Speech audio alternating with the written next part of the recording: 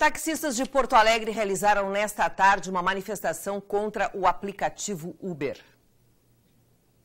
Às duas horas da tarde, um grupo de taxistas se reuniu na Avenida Borges de Medeiros para sair encaminhada ao ginásio Gigantinho. A categoria pretende derrubar ou, ao menos, alterar o projeto de lei que regulamenta o Uber e o aplicativo WillGo. Na audiência, 10 pessoas contra e 10 a favor poderão comentar sobre a proposta do executivo. 5 mil pessoas podem acompanhar o evento.